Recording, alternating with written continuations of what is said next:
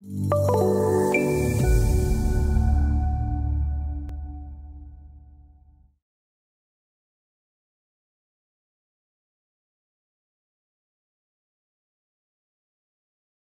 to this session on embedded surfaces. So once a room has been defined with its surfaces, you can then further define those surfaces with embedded surfaces such as windows and doors. And so if we go up to our ribbon, we can see we have the embedded surfaces tool group here. And we're going to start with this add window tool. So we're going to go ahead and select add window. here's our, our dialog. Just gonna drag that out of my way. We'll start over here in the in the front lobby. I'm going to work in the ISO view, but you could also work in the plan view. I'm just going to zoom in a little here. So we're going to select our fabric type or our window type. Again, this comes from a library of different constructions and can always be modified later. We're going to start with this OptiFloat clear 6 millimeter glass, and no blind. Now from the defaults we set up earlier, the height of the window is 2.4 meters and the sill height is 0.6. And of course we could change that at this point as we place it, but we're going to leave the defaults. We could also add fins, but we won't do that just now. So all we're going to do is select the room where we want to place the embedded surface. It will highlight then we're just going to come down and trace our floor and just indicate where that window's going. And all we have to do is basically drag from one point. We're using our AccuSnap here and snapping to the edge of the brick. And then I simply come over and start the next one. Drag my cursor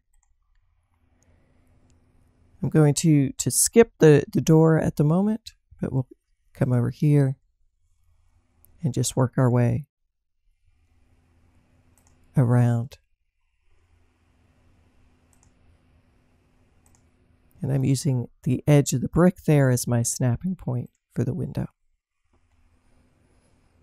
Now when I turn the corner here, I can always switch to my other view. I can work in either view and I can go from one to the other.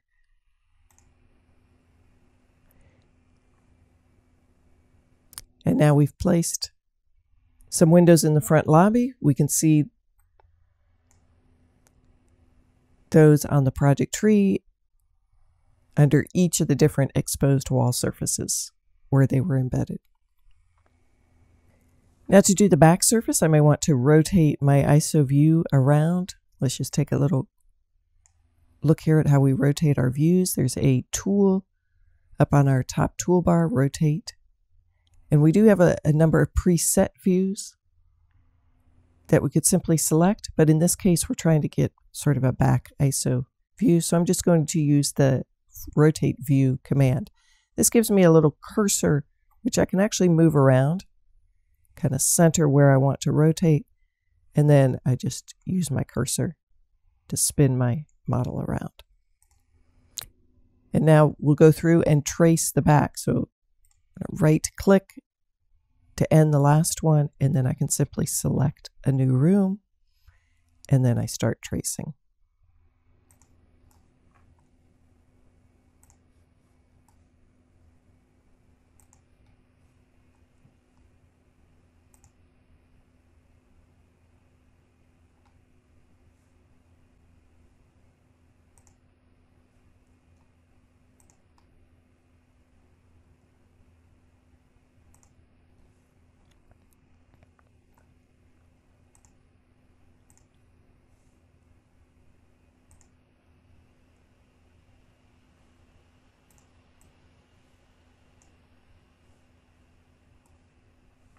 Note there's also a, a pan. It's a little hand icon there. So I can do any view manipulations, rotations, panning, and then just go right back into placing my windows. And then a right click when I'm finished with that room. Once you have the windows placed, you can go ahead and do the same with the doors. We're going to use the add door icon.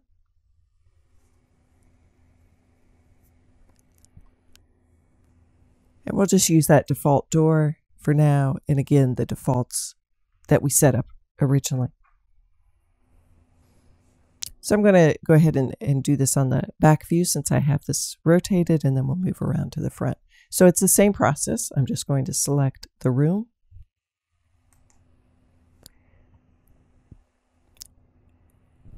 And then place my door. And I'm just going to go to the center of that frame there. In the center of that one. These actually, there's some glass windows in between. and we'll come back and place those again.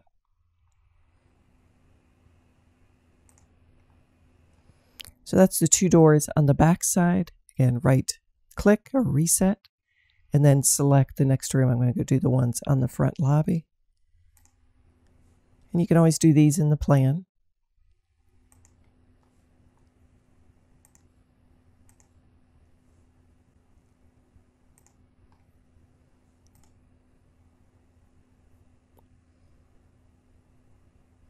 And then to finish up, I'm going to go back to my window command to place the windows adjacent to the door. But we are going to have to change the, the height and the sill height here because we want these to actually match the door. So I'm going to use the three meters and make the sill, sill height zero. Again, I'll come into the back door. I'm going to go from the brick and then to the edge of the door and then from this edge to this edge, and finally from this edge to the brick again. And then a right click to reset, and then we could select the front lobby. And in this one, I could work in the plan. Just want to go to that same center point of that frame there that we used for the door.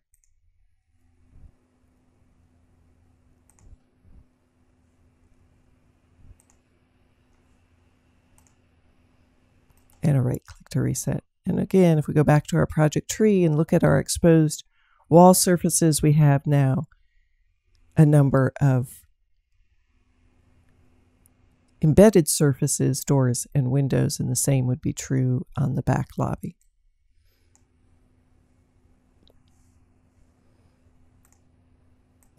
Go ahead and rotate this back oops, to that isometric view and fit our fuse again. So now we have that ground floor pretty well defined. We have, have the rooms defined. We have some embedded surfaces on the exterior. And what we're going to do next is copy that floor in order to create the two floors above it since they're actually very similar. And we'll do that in the next video.